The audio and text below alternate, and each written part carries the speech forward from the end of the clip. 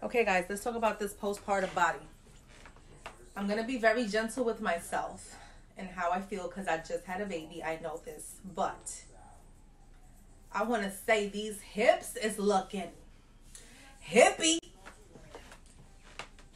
I'm still very much swollen here. Like, I can feel it. I'm still very much swollen. But as soon as the doctor gives me the okay to be working out, we back on it. I'm getting back to the business. Get ready because this snapback is about to be over.